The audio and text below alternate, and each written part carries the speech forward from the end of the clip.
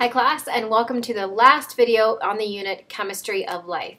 So we're still sticking with big idea 2 and 4 looking at how living systems need energy, how they need matter, and how those um, systems are going to interact and they possess complex properties.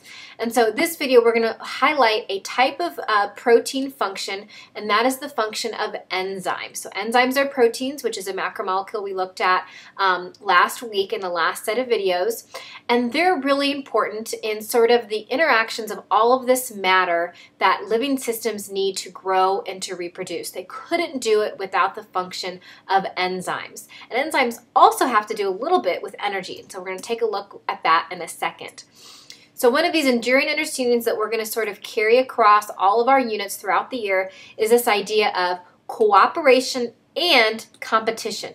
Both of these are actually important aspects to all biological systems. And specifically with enzymes, we're going to see that enzymes require cooperation between enzymes and substrates, but that sometimes in living systems, we actually do need competition. And this comes in the form of inhibitors of enzymes. And inhibitors we're going to look at, but they affect the structure and function of enzymes. And sometimes those are vitally important to maintaining homeostasis. So, right now, at the molecular level, we're going to look at cooperation of enzymes and substrates and competition with inhibitors. And then later on, we're going to see how cooperation and competition exists with cells, organisms, and eventually at the end of the year in populations. So interactions between molecules affect their structure and functions. Structure and function is still a huge theme here when we look at enzymes. Now, all throughout your body, there are chemical reactions going on because your body needs to take in that those elements from the environment. They need to build up those macromolecules and they also need to break down those macromolecules. And as that's happening, bonds are broken and they're reformed to make the products. And so this is a very common example of a chem chemical reaction that is occurring inside of you right now. This is the chemical equation for cellular respiration. So your body takes in glucose from the food that you eat. You also breathe in oxygen from the air, and we have a chemical reaction take place in the mitochondria of your cells that is going to release energy, water, and carbon dioxide. Um, but most reactions in your body, including this one, would take a very, very long time because they require a lot of starter energy to get um, to get going. So they require an input of ATP in order to even start to break these bonds of glucose. So what does your body do? It can't just sit there and wait 10 years to break down a molecule of glucose. And the answer is your body has enzymes. So enzymes are biological catalysts. A catalyst is simply something that speeds up a reaction, and it's biological, meaning it's within a living system. And so enzymes function by lowering that initial amount of energy that's required to get that reaction started. And we call that the activation energy. So let's take a look at this graph here and see how enzymes work. Here are our reactants, so for example, that glucose and the oxygen, and here are our products. Well, without an enzyme, it's going to take a lot of energy to get that reaction started. But when we add an enzyme, a biological catalyst, it lowers the amount of energy required and therefore the reaction can proceed faster because we're not waiting around to build up that ATP energy. Um, so that's how enzymes function. They reduce that amount of activation energy.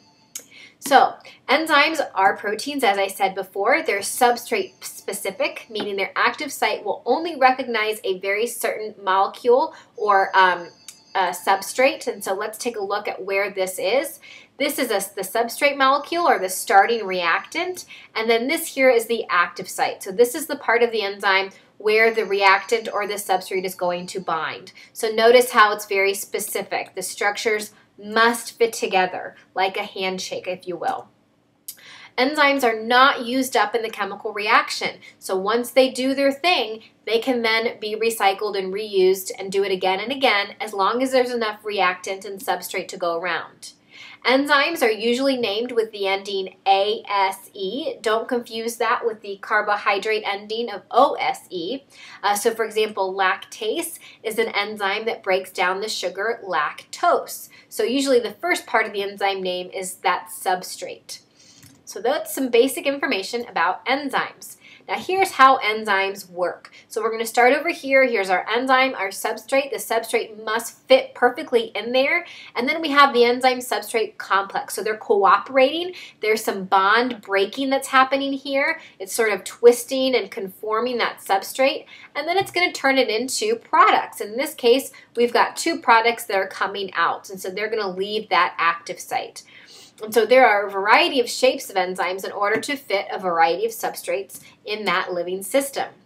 Now, there are factors that affect enzyme function. It's not a perfect world, right? There are some other things going on. So, we're going to take a, a, look at each one of these factors that affect enzyme function, starting with cofactors and coenzymes.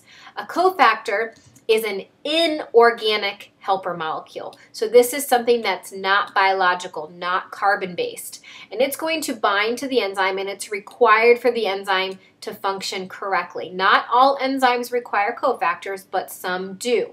So for example, some kinases, uh, a kinase is something that is going to phosphorylate, add a phosphate. Uh, some kinases require the inorganic cofactors of potassium and magnesium. We're going to look more at kinases when we look at cellular communication. Um, versus a coenzyme. So a coenzyme is an organic helper molecule. So it is carbon based. And it again, it's going to do the same thing. It's going to bind to the enzyme and it's required for that enzyme activity. And in cellular respiration, which is that equation I showed you in the beginning, um, a specific coenzyme called coenzyme A functions in one of those steps of cellular respiration. So these are just sort of helper molecules that help things get started. Let's take a look at a figure. So here's our enzyme. Here's our cofactor or our coenzyme. I don't know which one specifically we're looking at here. But it's going to bind to the enzyme and it's going to be required for it to function because you can see it's going to make its shape fit the shape of the substrate. So without this coenzyme, that shape would not be correct and the substrate would not be able to bind to the active site. So these guys help enzymes function. We also have enhancers and inhibitors.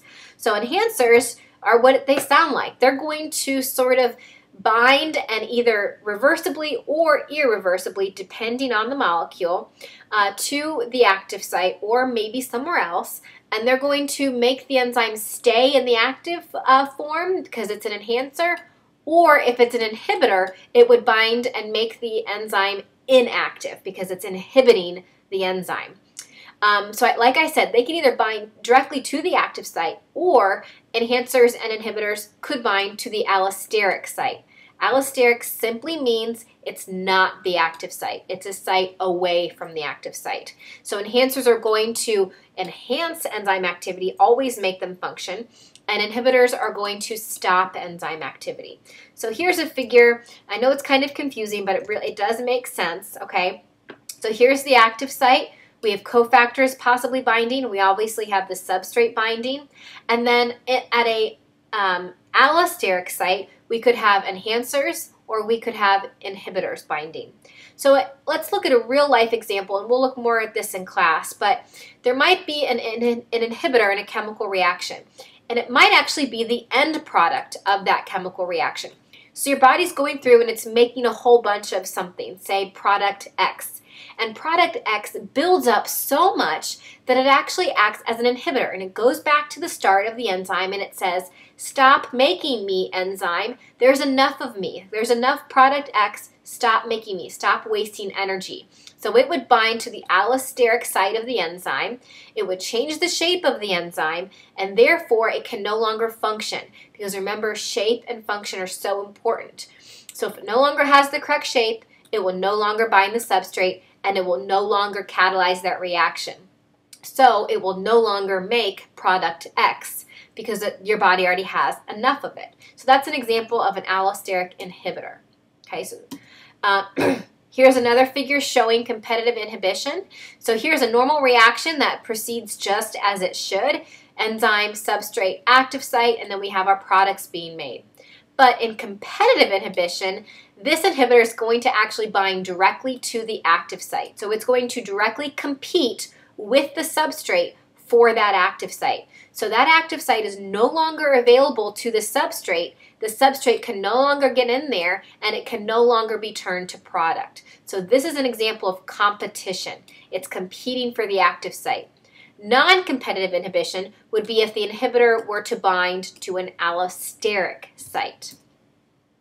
And another thing that affects enzyme function is the environment. So enzymes are specific or sensitive to the environment they work in. If there's any change to pH or temperature, that could possibly denature the enzyme.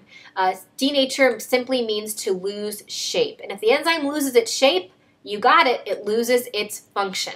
So here's an example. Up here we've got enzyme activity, and over here we've got pH. So pepsin, which is a digestive enzyme, likes to work in a low pH. So this is a very good functioning protein at a low pH. If it gets too low, it goes down in function. If the pH gets too high, it goes down in function. And you can see the same with salivary amylase and alkaline phosphatase. They have very narrow ranges of pHs where they work best. So they're sensitive to their environment. Now, we're going to do a lab in this class, a very cool lab about enzyme activity. So it'll be important for you to understand how we measure enzyme activity.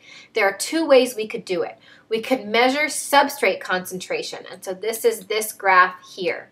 So as the reaction proceeds, we see that the substrate, substrate concentration is actually starting to level off because it's being used up. The enzyme is doing its thing and the substrate is being turned into product there's not enough substrate anymore. So the reaction is sort of leveling off, okay? The enzyme has no substrate to use anymore, so the reaction levels off. Or we could look at time on the x-axis and product formed on the y-axis and see how product formation happens over time. So initially we have a very high rate because we have a lot of substrate, we have a lot of enzymes working, we're good. But eventually that product formation is going to level off because we run out of substrate. So two ways to measure enzyme activity. I've got four final questions for you to answer in your notes, so take a look at these and we'll check these in class uh, when you turn in your video notes.